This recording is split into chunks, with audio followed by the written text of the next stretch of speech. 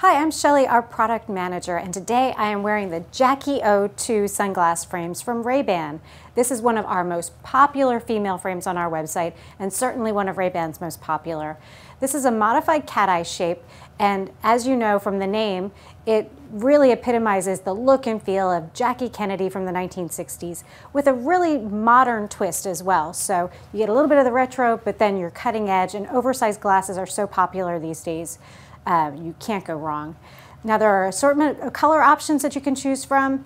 And if you have any questions at all and you're thinking, well, maybe this one is too big for me or too small or not quite the right size, is this gonna look good on me? Please contact one of our certified opticians today. We are here to help you out and we frame style hundreds of people. We have a great time. You can upload your photo and we'll get you into just the right pair of Ray-Bans and let us know if you have any questions.